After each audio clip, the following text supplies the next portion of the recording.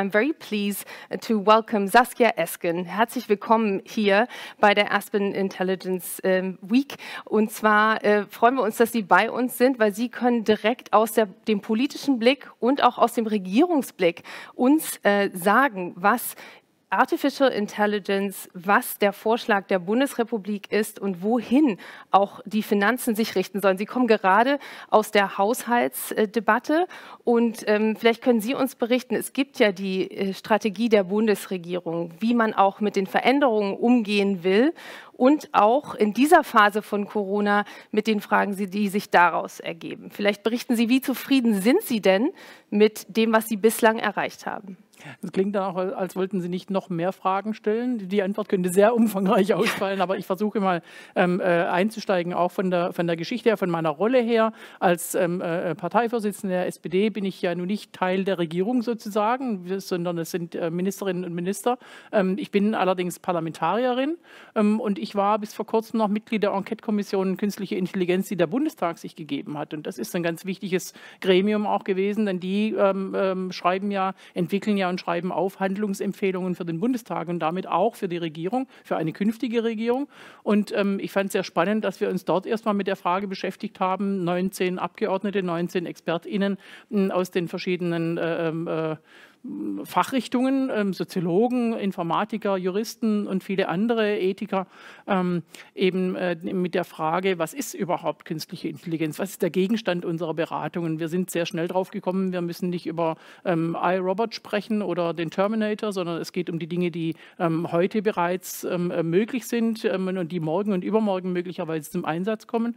Und dann eben die politischen Rahmenbedingungen, die wir einerseits förderlich dafür ähm, aufstellen wollen in, in Bezug auf Forschungsförderung, aber auch gesetzliche Rahmenbedingungen. Auf der anderen Seite aber auch ganz klar Regeln aufzustellen, die eben unseren Grundwerten auch in Europa äh, entsprechen, Grundwerten, die mit, mit der informationellen Selbstbestimmung, mit Privatheit zu tun haben, natürlich auch mit der Verhinderung von Diskriminierung und vielem anderem mehr. Und da sind wir zu, glaube ich, ganz guten ähm, Empfehlungen gekommen. Und insgesamt kann man sagen, dass die Europäische Union äh, dabei ist, einen Weg zu ähm, entwickeln, der so ein Stück Stück weit zwischen der US-amerikanischen Vorgehensweise und der chinesischen Vorgehensweise und Umgehensweise mit künstlicher Intelligenz äh, liegt, nämlich ganz klar, ähm, wie gesagt, Regeln, Ziele, Zieltreue und Transparenz vor allem auch vorzugeben.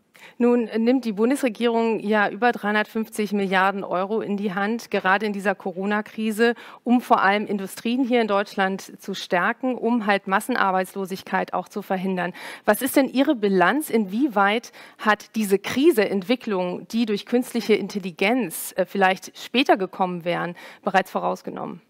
Insgesamt hat ähm, die Regierung sich bemüht, und da war ich nur wirklich auch beteiligt am Konjunkturpaket, ähm, nicht nur konjunkturell ähm, äh, wirksame Maßnahmen eben für von der Pandemie betroffene ähm, Unternehmen zu ergreifen, sondern auch in sehr weitgehendem äh, Maße ähm, Maßnahmen zu, zu finden oder auch vorzuziehen, die ähm, in die Zukunft gerichtet sind, die eben Zukunftstechnologien äh, besonders stärken. Und dazu gehört ähm, vielleicht auch die Wasserstofftechnologie und die E-Mobilität und äh, diese Dinge, die mit dem Klimawandel auch zu tun haben, aber eben natürlich auch Digitalisierung und auch künstliche Intelligenz.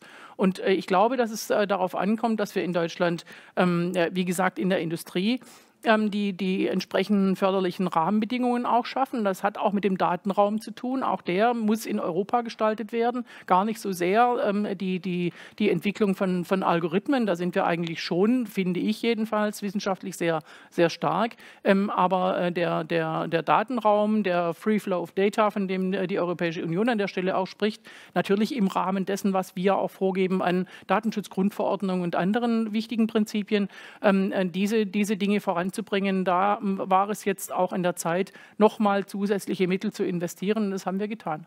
Nun will ich erstmal nochmal gezielt alle einladen. Das ist Ihre Debatte hier heute und Sie können Fragen stellen. Also schicken Sie uns die über diese Question-and-Answer-Funktion auf Zoom, wenn Sie uns da verfolgen. Ähm, Sie werden die Gelegenheit haben, diese Fragen zu stellen. Nicht persönlich, aber ich werde die dann alle vortragen. Und eine Frage würde ich ganz konkret, weil es ist ein sehr bewegter Tag heute, ähm, an Sie richten wollen. Und zwar, was Corona angeht, das schwebt ja über allem. Äh, nun gibt es die neueste Empfehlung von Leopoldina, das ist die Expertengruppe, die auch die Regierung berät, dass man einen Lockdown, einen harten Lockdown machen soll über Weihnachten statt dieser Lockerung, die ja in Aussicht gestellt wurden. Der Staat Sachsen macht das jetzt schon ab kommendem Montag. Wie wird sich denn die SPD da positionieren? Was ist Ihre Haltung dazu? Also ich finde es wichtig, dass wir die Entwicklung der, der Fallzahlen und äh, vor allem auch die Entwicklung der Situation in den Pflegeheimen und in den Krankenhäusern auf den Intensivstationen ganz genau betrachten und dass wir leider sehen müssen, dass wir zwar das exponentielle Wachstum der Fallzahlen bremsen konnten mit unserem Lockdown Light, sage ich mal, ähm, aber eben äh, wir verharren auf einem hohen Niveau, beziehungsweise jetzt steigen die Zahlen wieder leicht. Und ähm, wir, wir bringen damit insbesondere die Intensivpflegekapazitäten ähm, unter, unter Druck. Und wenn man sich jetzt vorstellt, dass dazu zu dem aktuellen Stand über Weihnachten und ähm, anfangs war ja auch Silvester sehr stark mitgedacht, ähm, dass wir da in, in, in, äh, zu Lockerungen kommen äh, der Kontakthäufigkeit, ähm, äh, dann könnten wir tatsächlich wieder in ein exponentielles Wachstum kommen, was wir dringend verhüten müssen, weil dann stehen wir vor Situationen, wie wir sie in Norditalien hatten, wie wir sie in den USA hatten, dass eben Pflegekräfte und auch ähm, äh, Mediziner vor der Frage, äh, vor der Situation stehen, entscheiden zu müssen, wer kann behandelt werden und wen muss man sterben lassen. Und das möchten wir auf jeden Fall verhindern. Also flächendeckender Lockdown, wie Leopoldina das möchte, ja oder nein? Wir müssen jetzt äh, tatsächlich zu solchen Entscheidungen kommen, weitere Maßnahmen herbeizuführen. Gut. Und ähm, das hat ja auch Auswirkungen auf die Industrie hier in Deutschland gehabt. Äh, der Fokus, das ist ja ein Teil der Kritik, ist auf äh, die traditionellen Industrien, auf den Autobau, auf äh, die, die die Arbeitsplätze hier zur Verfügung stellen. Ähm, wie sieht es mit den Start-ups aus? Bekommen die Ihrer Ansicht nach genug Unterstützung, gerade im Hinblick auf die Entwicklung von AI, was ja, wenn wir schon mittendrin wären, im Prinzip könnten wir ja alle nach Hause gehen, die Pandemie passieren lassen und Artificial Intelligence würde alles für uns machen, oder? Das wäre schön, ist aber, glaube ich, eine ähm, äh, nicht, äh, nicht ähm, gültige ähm, äh, Voraussicht. Tatsächlich ähm, äh, kann künstliche Intelligenz uns bei vielem unterstützen, was wir, was wir heute ähm, äh, tun. Ähm, schon Digitalisierung ohne lernende Algorithmen war dazu in der Lage, aber jetzt kommen wir noch zu weiteren Schritten, auch Entscheidungsvorbereitung ähm, zu verbessern und, und äh, sagen wir mal beispielsweise die individuelle Lernbegleitung von Schülerinnen und Schülern zu verbessern, dann möglicherweise auch sowas wie einen Wechselunterricht oder Distanzlernen auch gut zu begleiten und nicht so, wie es jetzt im Frühjahr und im Frühsommer gelaufen ist. Insofern äh, steckt da schon viel Potenzial drin. Es steckt viel Potenzial auch für, die, für, das, äh, für das Gesundheitswesen drin, für die medizinische Forschung natürlich auch, aber auch für die Dokumentation dessen, was äh, jeden Tag in Krankenhäusern und Pflegeheimen gearbeitet wird. Da, steckt, da wird ja viel dokumentiert, zu Recht, um, um Qualität zu überprüfen, aber es ist viel Arbeit, die dann am Bett an der Pflege verloren geht.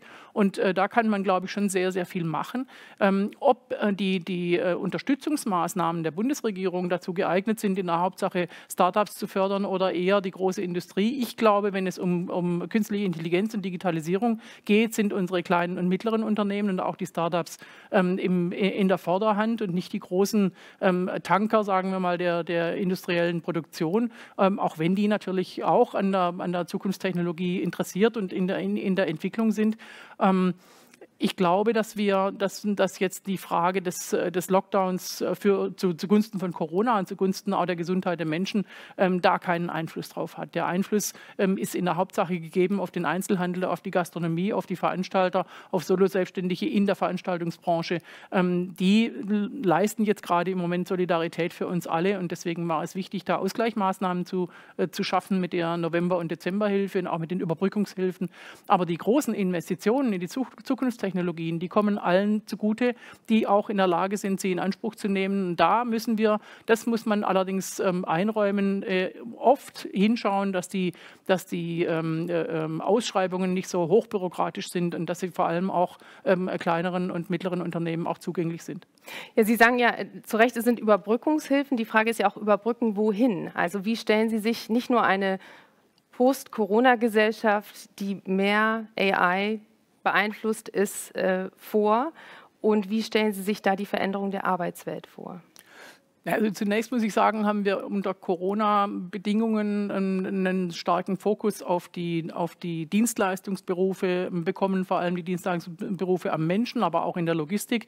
Ähm, das sind diese sogenannten systemrelevanten Tätigkeiten, die ähm, äh, durch Digitalisierung oder ähm, künstliche Intelligenz nicht wegfallen werden. Die werden dadurch nicht ersetzt werden können. Weder Pflegekräfte werden ersetzt werden durch künstliche Intelligenz, noch die Menschen, die für uns die Regale im Supermarkt einräumen und deren deren, deren dringende Notwendigkeit wir ja jetzt gesehen haben, ähm, äh, dass wir diese Erkenntnis haben, haben die aber noch nicht im Geldbeutel gemerkt. Und das ist, glaube ich, was, wo ich mir jetzt eine Post-Corona-Zeit vorstelle, dass wir ähm, nicht produktiven Berufen, sogenannten nicht produktiven, die eben nicht in der klassischen Produktion arbeiten, die Wertschätzung äh, zukommen lassen, äh, die sie auch verdient haben und vor allem, äh, dass sie auch ein Leben ähm, finanzieren können und ähm, ihre Familien ernähren aus einer Vollzeittätigkeit. Das zunächst mal vorneweg, weil das finde ich wirklich sehr, sehr wichtig. Ja. Und die, die, die Frage, wie wir ähm, als, als Gesellschaft in Deutschland und Europa, aber glaube ich sehr stark auch in Deutschland, zögerlich sind, Veränderungen auch anzunehmen und uns damit auch nach vorne sozusagen sozusagen vor die, vor die Welle, das ist jetzt in dem Fall ein bisschen schräg wegen Corona, aber ja. vor, vor, die Entwicklung zu kommen. Ja? Das ist ähm, in Deutschland nicht so, nicht so stark gegeben. Wir haben keinen starken Veränderungsmut. Und ähm, da jetzt aus der, aus der Krise heraus, denn da liegen ja auch immer Chancen, neuen Mut zu fassen, auch ähm, äh, stark nach vorne zu gehen, Zukunftstechnologien zu gestalten, nicht als, als ähm, Ereignis zu empfinden, das wir selbst nicht in der Hand haben, sondern zu wissen, wir haben das Primat der Politik als Gesellschaft auch. Die ganze Gesellschaft ist dazu aufgerufen, die diese Zukunft mitzugestalten. Ich würde gerne ein Gegenbeispiel setzen zu den Pflegeberufen, die, wie Sie ja zu Recht herausstreichen, nicht nur systemrelevant sind, sondern da kann man auch niemanden ersetzen. Aber äh, wenn wir konsequent weitere Schritte gehen in Richtung Elektrifizierung der Mobilität, aber auch alternative Energien, da werden im Schnitt ein Zehntel der Menschen gebraucht, der arbeitenden Menschen, ähm, um diese Produkte zu erstellen, auch in der Automobilindustrie. Was ist denn Ihre Forderung jenseits dessen, dass der normale Verbrenner jetzt kein zusätzliches Geld, die Automobilindustrie da nicht gestützt wurde, ähm, an genau diese Industrien? Welche Signale haben Sie das Gefühl, haben Sie da gesetzt und wie wird das aufgenommen?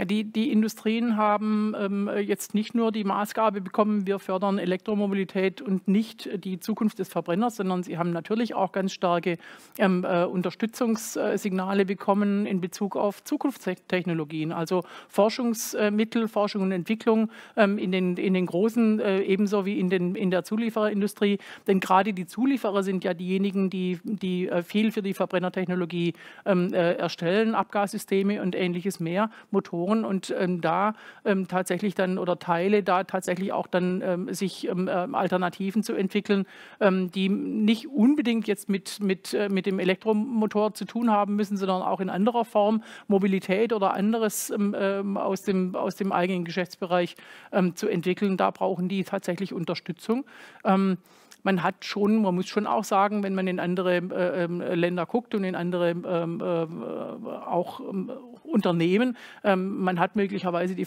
die Entwicklung ein paar Jahre verschlafen ähm, der, Elektromobilität und jetzt muss man ein bisschen äh, schneller hinterher ähm, kommen. Ähm, wir äh, sind äh, der Auffassung, dass die, dass die Unternehmen ihre Beschäftigten halten und weiterentwickeln und weiterbilden sollen auch. Die Kurzarbeit ist ja dazu auch ganz explizit angelegt. Wir wollen auch über die Kurzarbeit hinaus mit dem Qualifizierungschancengesetz und mit vielen anderen Angeboten, möglichst auch mit dem Recht und einer Pflicht auf Weiterbildung, die Weiterbildung als ganz natürlichen Bestandteil auch des Arbeitsalltags ähm, entwickeln, damit, äh, damit Menschen im Beruf fit bleiben können diese, diese äh, äh, Kalkulation der allenfalls 10 Prozent, die da noch gebraucht werden, die glaube ich jetzt einfach mal nicht. Mhm. Ähm, es wird ja auch über die Digitalisierung immer wieder gesagt, da gehen massenhaft Arbeitsplätze verloren. Ich glaube das einfach noch nicht, abgesehen davon, dass ich niemanden faktisch niemanden kenne, der nicht sagen würde, ich würde mit ein bisschen weniger Arbeit auch zurechtkommen. Das heißt also, weniger arbeiten ist, glaube ich, keine Drohung. Wir müssen nur natürlich die, den Mehrwert, der sich ergibt aus ähm, äh, die Digitalisierung, technologischer Entwicklung, auch künstlicher Intelligenz, dann auch gerecht verteilen, sodass auch alle was davon haben und nicht nur die Konzerne, ähm, sondern wir müssen äh, dafür sorgen, dass eben ähm, im Sinne einer, früher hat man über Maschinensteuer gesprochen, heute müsste man es anders nennen, ähm, äh, eine Umverteilung hinbekommen der Arbeit, sodass alle weiterhin Arbeit haben. Arbeit ist ein wichtiger, ähm, auch sinnstiftender Bestandteil unseres Lebens, aber natürlich muss auch der Lebensunterhalt verdient sein und ähm, deswegen müssen wir zusehen, dass ähm, alle im Boot bleiben, alle im Spiel bleiben und ihre Chance erhalten, sich auch weiterzuentwickeln. Also es gibt ja diese McKinsey-Studie, die sehr oft äh, zitiert wird, dass ungefähr die Hälfte der Tätigkeiten könnten durch AI übernommen werden, aber mitnichten würden Jobs vernichtet werden, sondern ganz im Gegenteil, man könnte sogar ähm, mehr Jobs dadurch schaffen.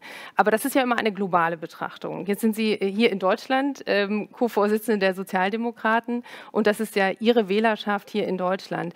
Ähm, wie wollen Sie denn Deutschland vor den Verwerfungen, die daraus entstehen könnten, wenn Jobs auf der einen Seite nicht mehr so funktionieren. Nehmen wir das Beispiel Automobilindustrie, was ja eine Kernindustrie in Deutschland ist, aber woanders geschaffen werden. Das ist ja nicht notwendigerweise in Deutschland. Was ist denn da Ihre Strategie, dass man das wirklich auch regional schafft und nicht einfach global betrachtet?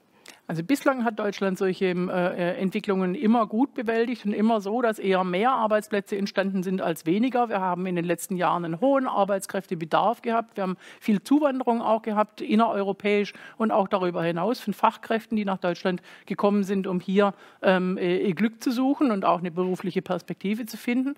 Ähm, und äh, insofern äh, bin ich zuversichtlich, dass uns das auch mit den weiteren Entwicklungen gelingen wird, wenn wir eben in Zukunftstechnologien investieren und wenn wir auch ähm, Mut machen, sowohl den Unternehmen als auch den, den Beschäftigten. Ähm, mit der notwendigen Unterstützung, ähm, auch staatlichen Unterstützung, werdet ihr Teil des Spiels bleiben. Wir haben Strukturreformen wie beispielsweise den, den, das Ende der Braun- und Steinkohle und auch den, äh, die, die, äh, die geringe, nur noch geringe Stahlproduktion in Deutschland äh, bewältigt, weil wir eben entsprechende Strukturreformen auch und Strukturunterstützungen auch gegeben haben und dort eben Technologien Technologien auch angesiedelt haben, die dann ähm, Entwicklungen und die Arbeitsplätze schaffen.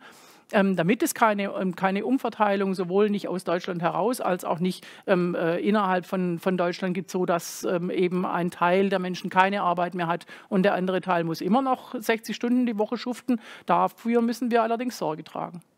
Ähm, Sie sprechen von, auch von staatlicher Unterstützung. Ähm, die Bundesregierung hat ja auch den Anspruch, dass sie Normen setzt. Es gab ähm, diesen, auf dem Digitalgipfel diese Normierungsroadmap. Äh, wie zuversichtlich sind Sie denn, dass Deutschland, dass Europa diese Kraft entwickeln kann, auch wirklich Normen zu setzen? Als Gegenbeispiel in den USA ist ja eigentlich schon längst der Zustand erreicht, dass die großen Tech-Firmen Normen setzen. Äh, wie kann man das als Regierung tun? Ja, zum einen äh, dadurch, dass eben, dass eben Standards vereinbart werden, an die sich dann alle halten. Und wenn, wenn, wenn wir nicht als Deutschland, sondern vor allem als Europa ähm, agieren, dann haben wir schon ähm, auch die wirtschaftliche Kraft und auch die politische Kraft, um Standards zu setzen. Ich denke, ähm, ich darf nochmal die Datenschutzgrundverordnung nennen, die mittlerweile in Kalifornien, glaube ich, entsprechend umgesetzt wird äh, und abgeschrieben wird, wenn man so will. Ähm, das heißt, wir, wir setzen äh, schon auch Standards durch, äh, durch Vorbild. Ähm, ähm, und in vielen anderen Dingen ist es, ist es auch der Fall. Die, die, die, ähm, die Regierungen der Jahrtausendwende haben starke ähm, Impulse gesetzt bei der Frage Luft- und Wasserreinhaltung, also Umwelttechnologien. Ähm, und, und, die deutsche Maschinenbauindustrie ist dadurch auch in diesen Jahren sehr stark geworden, dass sie eben äh, eine, eine, eine technologische Ausrichtung anzubieten hatte, die andere kurz danach nachgefragt haben, weil die, das Bewusstsein weltweit gewachsen ist, dass wir unsere Umwelt reinhalten müssen. Mittlerweile Mittlerweile ist es die, der Klimaschutz. Auch beim Klimawandel schreitet Deutschland ein Stück weit voran und ähm, investiert jetzt sehr stark in Wasserstofftechnologie ähm, und äh, überwindet gleichzeitig die Atomkraft, die Nutzung der Atomkraft und die Nutzung der Kohle, was eine ziemliche Herausforderung ist. Und ähm, äh, da eben daraus auch wieder äh, Mehrwerte und, und technologischen, technologischen Vorsprung zu äh, generieren, das ist äh, eine, eine Kunst, die uns erst gelingen muss am Ende ist die normative Kraft des Faktischen stärker als die der, der, der, der Normierungen. Aber selbstverständlich ist es auch notwendig, dass in vielen Bereichen, ähm, wo ähm, meinetwegen Standards von äh, amerikanischen Unternehmen gesetzt worden sind, die aber nicht durchgehend gelten und Gültigkeit haben, äh, dass die eben auch dafür, dass man auch dafür sorgt, dass da auch ähm, äh, die notwendigen Grundlagen für geschaffen werden. Nun tut sich ja diese Woche Europa mal wieder ein bisschen schwer, gemeinsam zu agieren, wie wir alle wissen. Ja. Ähm, aber ein Thema, was, äh, von dem ich weiß, dass Ihnen sehr am Herzen liegt, ist auch Datenmonopole zu brechen, gerade um auch China was entgegenzusetzen. Ähm, die Macht des Faktischen, wie wollen Sie die bezwingen? Ja, da geht es tatsächlich darum, dass viele, viele Unternehmen und ähm, äh, der chinesische Staat kann ja sozusagen auch, auch als sehr, sehr großes Unternehmen, wirklich sehr, sehr großes Unternehmen betrachtet werden, mit einem gemeinsamen Datenraum und im Übrigen ohne jede Rücksicht auf Privatheit der Menschen und Privatsphäre. Ähm, und Schutz vor Überwachung.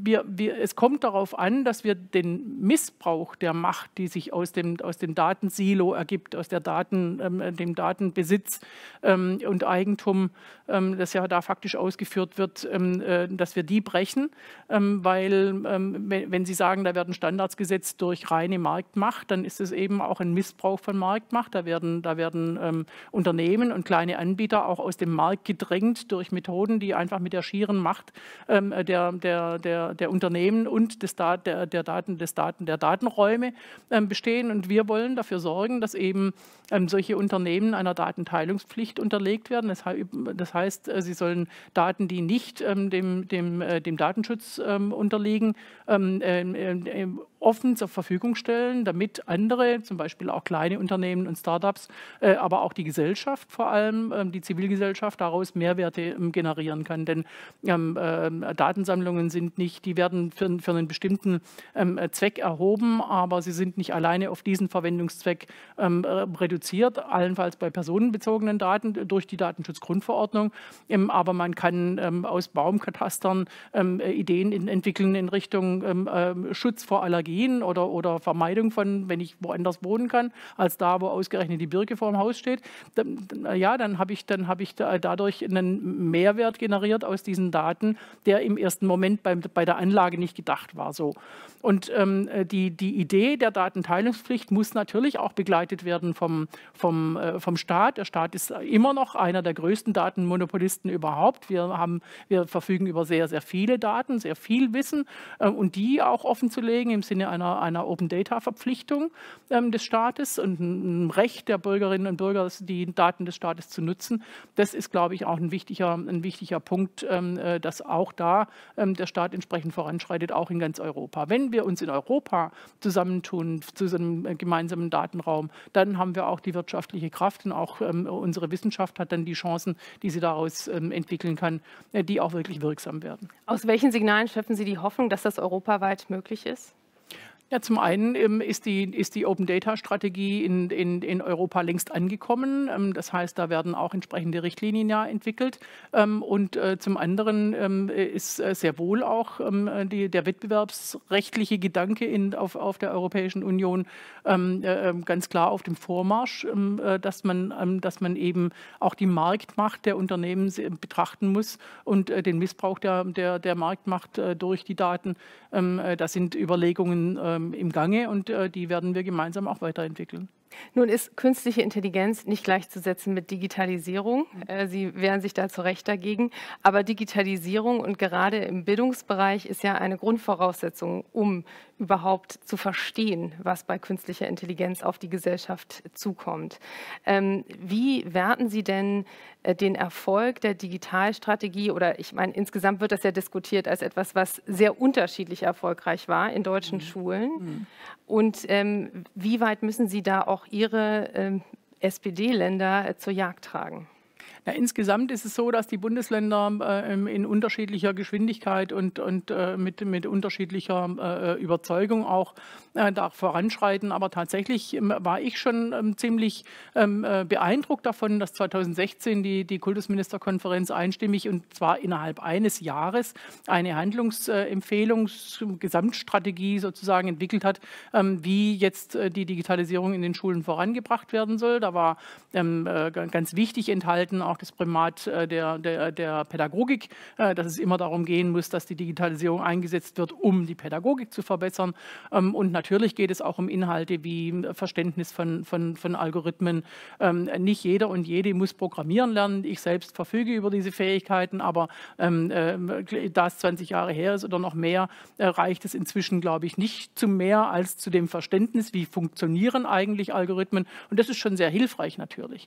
Und wenn, wenn Menschen verstehen sollen, was mit ihren Daten geschieht, wie sie damit umgehen, wie, wie ähm, ihre Arbeit, wie ihr Leben beeinflusst wird von Algorithmen, dann missbrauchen sie dafür natürlich auch die notwendige äh, Grundlage.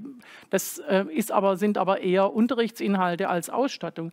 Trotzdem äh, muss, der, muss der Bund, ähm, und dazu haben wir eine Grundgesetzänderung herbeigeführt 2017, ähm, wieder die, die, die Länder und die Kommunen dabei unterstützen können, ihre Schulen entsprechend auszustatten, die Schülerinnen und Schüler und die Lehrkräfte entsprechend auszustatten, damit die eben nicht nur über Medien und über Digitalisierung lernen, sondern auch mit Medien und mit Digitalisierung. Denn natürlich sind die ähm, die digitalen Lehr- und Lerninhalte beispielsweise ähm, wesentlich besser dazu geeignet, ähm, auf den Einzelnen zugeschnitten zu werden, auf die einzelne Gruppe auch ähm, eben angepasst zu werden, ähm, auf den aktuellen Stand gebracht zu werden. Wenn in einem Schulbuch ein falscher Inhalt drinsteht, dann steht ja da 10, 12 Jahre drin, dann kommt die nächste Auflage. Ne? Also im Digitalen lässt sich das leicht äh, reparieren, aber vor allem auch individualisieren und entsprechend anpassen. Das heißt also, auch da ist natürlich abgesehen von dem Gewicht des Schulranzens, der auch, wenn Sie mal einen in der Hand hatten, eine ganz schlimme Sache ist, weiterhin mit zwölf Schulbüchern drin. Ähm, da kann man, glaube ich, auch ein bisschen was machen. Das ist in der Tat einer der wenigen Vorteile von Homeschooling, aber derer gibt es wirklich in der Tat sehr wenige. Lebenslanges Lernen ist ja auch ein Thema, was sich die Koalition äh, in, ins Buch geschrieben hat. Aber in Frankreich gibt es ja zum Beispiel schon die Möglichkeit, dass man im Prinzip so eine Art Lernkonto mitnimmt von Arbeitgeber zu Arbeitgeber. Mhm. Wo sehen Sie da Nachsteuerungsbedarf? Wir haben solche Konzepte vorgelegt, ähm, ähm, konnten sie aber bisher ähm, vielleicht auch wegen des äh, mangelnden Interesses des Koalitionspartners nicht umsetzen, dass tatsächlich die, die Arbeitsagentur äh, auch für eine Agentur für Arbeit und Weiterbildung äh, umgewandelt wird, dass die Arbeitsagentur diese, diese Bildungs-, Arbeits- und Erwerbs- und Bildungsbiografie eben auch führt für einen, für einen Arbeitnehmer, eine Arbeitnehmerin oder einen Erwerbstätigen, sodass man da auch sein Leben lang eben die, die entsprechenden Zertifikate und, und ähm, wo wir in Deutschland sehr stark darauf ausgerichtet sind, auch mitführen kann, aber auch eben einzelne Module ähm, äh, vermerkt bekommen kann. Ich möchte Ihnen noch kurz eine Zahl vorlesen. Also ähm, für künstliche Intelligenz hat die Bundesregierung jetzt gerade den, das Budget erhöht auf 5 Milliarden Euro bis 2025.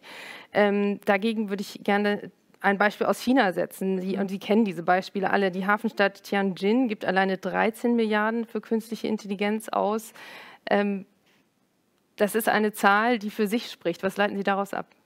China und Deutschland zu vergleichen, ist, glaube ich, nicht okay. Jetzt haben Sie nicht China verglichen, sondern diese Hafenstadt, ist mir schon klar. Ähm, aber dennoch, wir müssen schon ähm, äh, die Zahlen auch in Europa betrachten und wir müssen natürlich auch die Finanzkraft ähm, äh, der, der, der, des chinesischen Staates betrachten und, äh, und äh, die der Europäischen Union. Ähm, aber dass wir da noch, da, dass wir da noch weiter, weiter leisten sollten und müssen, ähm, da sind Sie, sind Sie äh, stimme ich Ihnen absolut zu. Es ist nur ähm, eben so, dass wir, dass wir also derzeit, wenn wir derzeit die, die, die Mittel erhöhen, dann tun wir es, obwohl wir ja wesentliche Kosten für die Unterstützung der, der, der äh, Unternehmen, die jetzt gerade im Moment unter dem Lockdown leiden, äh, zu leisten haben und das Gesundheitssystem entsprechend unterstützen müssen und so weiter und so fort. Das heißt also, wir sind gerade im Moment schon sehr äh, glücklich darüber, dass auch der Haushaltsgesetzgeber, dass der, der, der Bundestag uns zustimmt, ähm, gleichzeitig ähm, Corona zu bewältigen und in die Zukunft zu investieren. Und dabei müssen wir auch bleiben. Wir haben aktuell ganz harte ähm, Debatten in der Frage zum einen, wer finanziert finanziert eigentlich die Kosten dieser Corona-Krise? Wie soll das in Zukunft ähm, geschehen? Da wird über Vermögenssteuern und Ähnliches gesprochen. Ähm, aber auch die Frage, wie gehen wir in Zukunft mit der Schuldenbremse um und darf die eigentlich im Wege stehen, wenn es um Investitionen in die Zukunft geht? Und da müssen wir auch ganz klar ähm, äh, Wege finden, dass wir immer sicherstellen, unter, äh, unter allen Umständen auch sicherstellen, dass Deutschland ähm, seine Investitionskraft als, als Staat und als Innovationstreiber eben auch behält. Naja, nun gut, hab ich, jetzt habe ich eine Hafenstadt, eine chinesische Hafenstadt der gesamten, einem gesamten Land gegenübergestellt. Wenn überhaupt, wäre das ja fast unfair gegenüber ähm, China. Ähm, dann stellt sich die Frage, es gibt ja diesen Cyber Valley in Deutschland. Es gibt aber auch, das wird von vielen Seiten immer beklagt, dass die Experten sehr schnell abwandern, weil sie dann ganz einfach andere ähm, Bedingungen haben, um zu forschen, andere Budgets. Und 353,3 äh, Milliarden, das ist das Paket, was die Bundesregierung wegen Corona geschnürt hat. Das das ist ja ein Ungewicht. Also das, das ist ja die Frage, ähm, wie viel gibt Deutschland aus, um to see another day, um durch diese Krise zu kommen und wie viel, um dann den nächsten Schritt in die Zukunft zu sehen. Also jetzt ist es der Anteil des Zukunftspakets im Konjunkturpaket nicht unerheblich gewesen, aber er besteht nicht nur in künstlicher Intelligenz, sondern insgesamt natürlich haben wir die digitale Infrastruktur ähm, äh, zu bewerkstelligen. Sie sprachen von der Ausstattung der Schulen, ohne die auch irgendwie die künstliche Intelligenz nicht zum Fliegen kommt. Und äh, natürlich müssen wir auch investieren in die Verkehrswende, wenn wir den Klimawandel bewältigen wollen und in die Energiewende und vieles andere mehr. Das heißt also, da ist viel Zukunft drin, auch ähm, eine zukünftige Entwicklung der,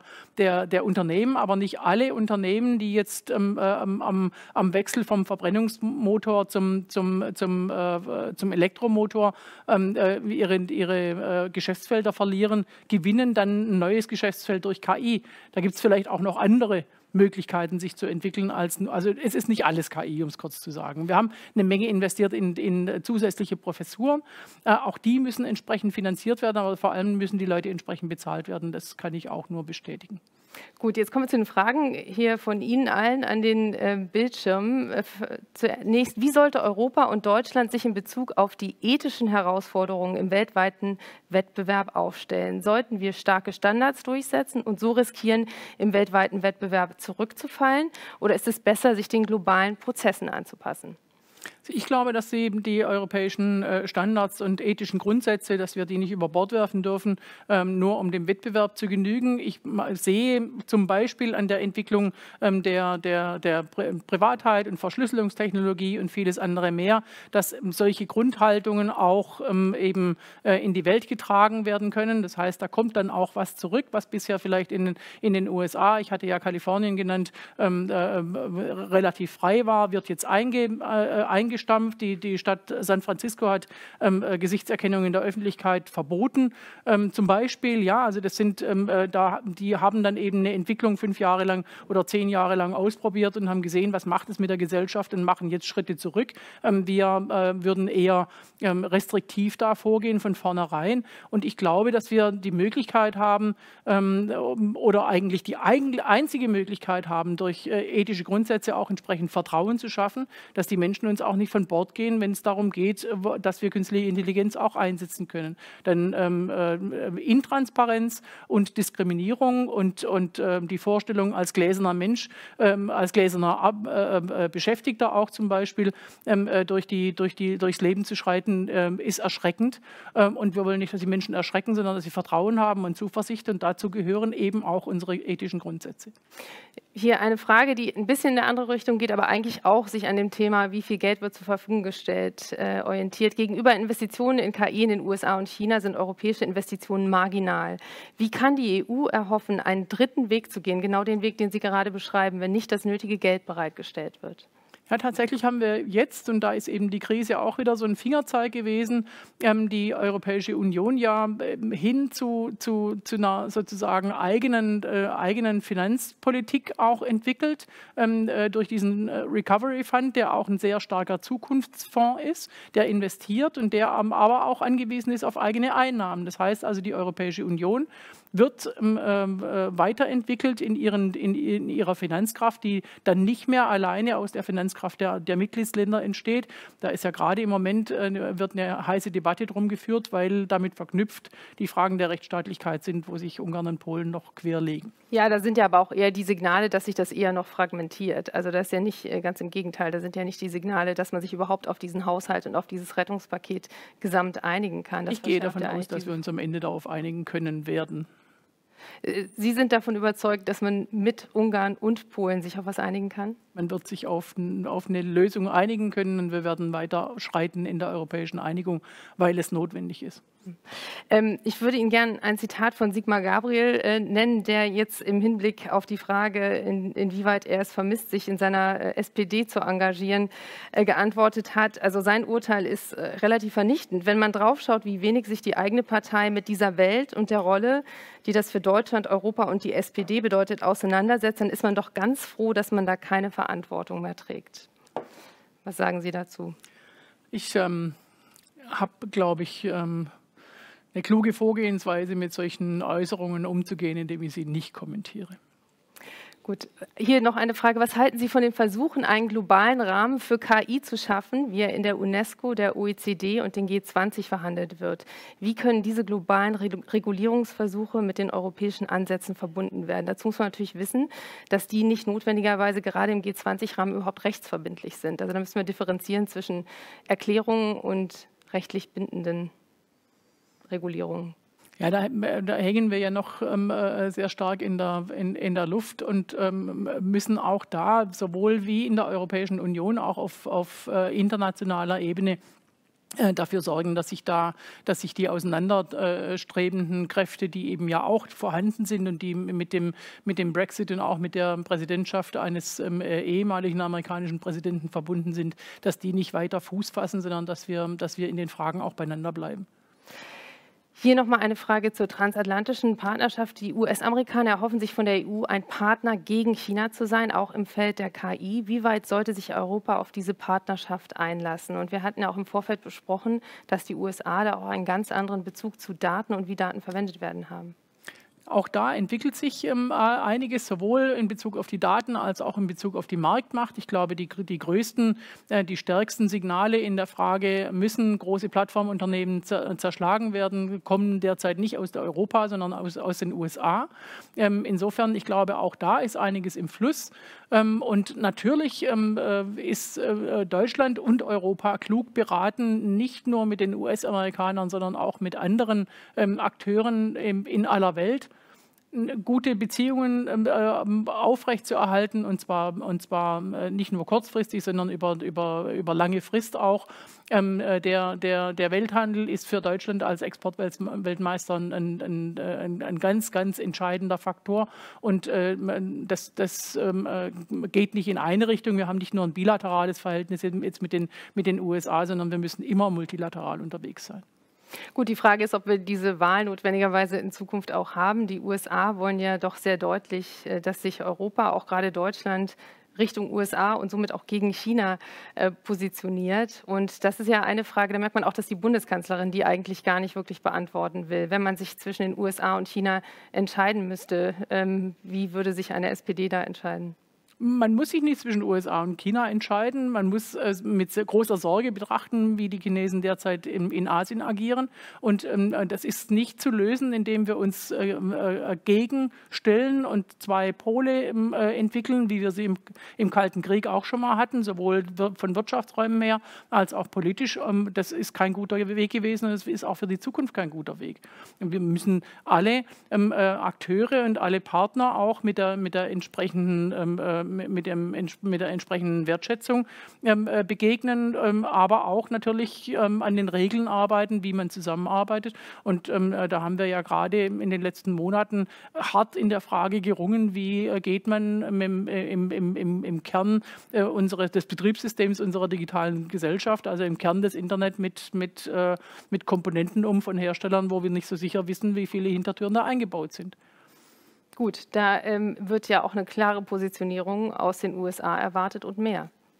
So ist es und wir haben auch, ähm, wir haben auch ähm, mit, den, mit den USA immer wieder ähm, äh, äh, Auseinandersetzungen in der Frage, wie sicher sind unsere Daten eigentlich bei den, bei den äh, Anbietern, die bei den Cloud-Anbietern zum Beispiel, die eben, äh, eben ihre Server nicht hier in Deutschland stehen haben, sondern woanders. Wenn da entsprechende Gesetzgebung gegeben ist, dass der, dass der Staat jederzeit darauf Zugriff hat, dann haben unsere Unternehmen da kein Vertrauen, denn wir wissen aus den, aus den äh, Snowden-Akten, ähm, dass das Interesse der NSA nicht ausschließlich politischen Zusammenhängen gegolten hat, sondern immer auch sehr stark wirtschaftlichen Zusammenhängen. Das heißt, Wirtschaftsspionage ist auch das Geschäft ähm, der allgemeinen Spionage und da müssen wir auch darauf bestehen, ähm, dass ähm, äh, da Sicherheit gegeben ist. Gut, da gibt es auch die europäische Initiative jetzt Gaia X, aber ist das die Antwort?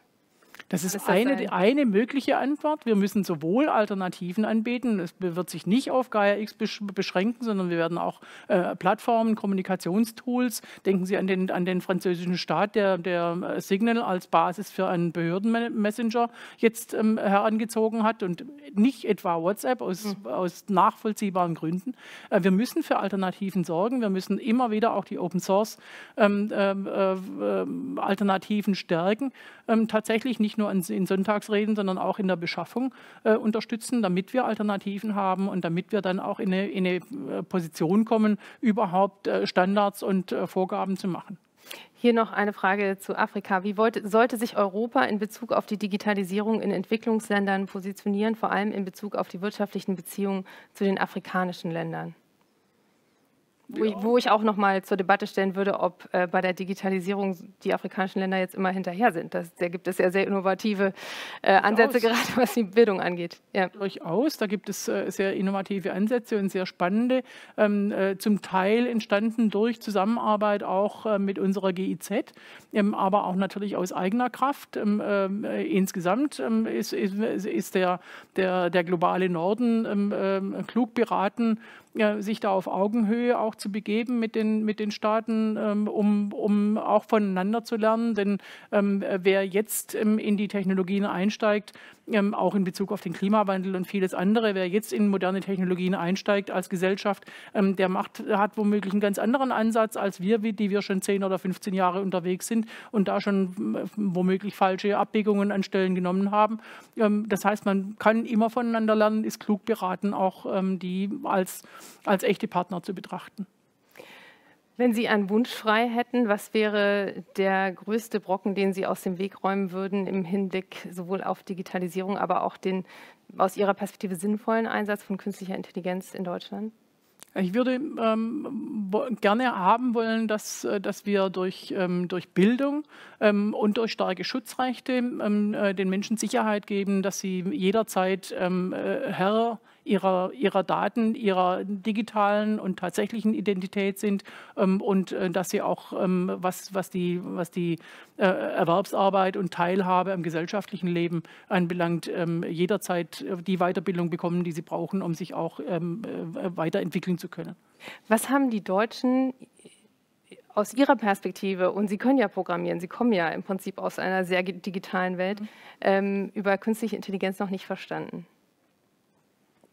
Dasselbe, was die, was die ähm, Abgeordneten in dieser Enquete-Kommission nicht verstanden hatten. Einerseits ähm, äh, eben ja bei künstlicher Intelligenz an iRobot zu denken und andererseits ähm, gar nicht zu ahnen, wie viel, von wie viel künstlicher Intelligenz wir bereits umgeben sind. Ähm, wenn wir äh, ohne Navi nicht mehr nach Hause finden, äh, dann ähm, aber Glück haben, dass wir dieses Navi haben, dann ähm, basiert es auf künstlicher Intelligenz und wir verlassen uns drauf, übrigens ohne jede Transparenz.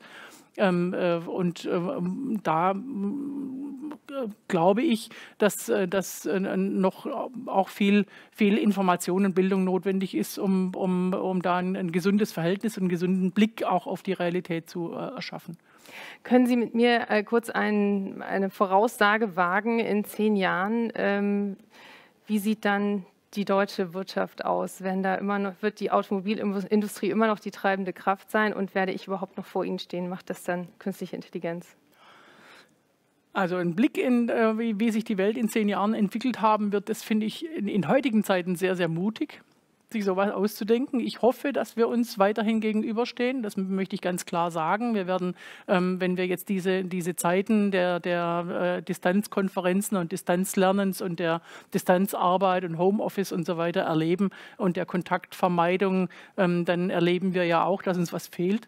Und ich glaube, dass es äh, wichtig ist, dass wir menschli menschliche Begegnungen und auch ähm, ähm, äh, menschliche Entscheidungen ähm, aufrechterhalten müssen. Das ist, ähm, glaube ich, ein ganz wichtiges, ähm, ganz wichtiges Pfund. Und äh, darüber hinaus ähm, äh, muss ich sagen, wir, also als diese Geräte vor zehn, bisschen mehr als zehn Jahren erfunden wurden, ist noch gar nicht so lange her. Ne? Ich glaube, 12, 13 Jahre, sowas haben wir geahnt, ja. haben wir geahnt, was damit passieren würde und was, äh, wie, wie, wie, wie äh, die, diese Entwicklung unsere Gesellschaft verändern würde. Wenn man heute auf einen Bahnsteig schaut, wenn der Zug drei Minuten Verspätung hat, dann stehen 98 Prozent der Menschen da und gucken mal nach, was ist soeben, was so auf dem Handy passiert.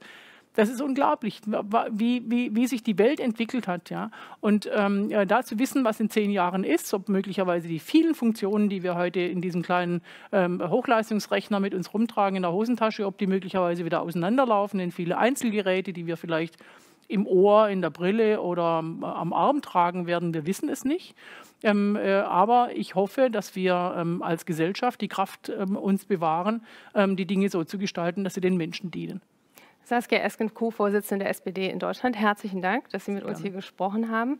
And thank you all for following this debate. We'll just take a very short technical break and we'll be back with you uh, on a debate about labor in the age of automation. You will be able to ask questions to Roger He's an economist, Janina Kugel, the former human resources head of Siemens, who now advises the government on questions of labor, the MP Johannes Vogel from the Free Democrat Party, and the trade unionist Andy Stern, who says it's time for a basic income for all. That's coming up in just a couple of minutes from now. Thanks for watching us.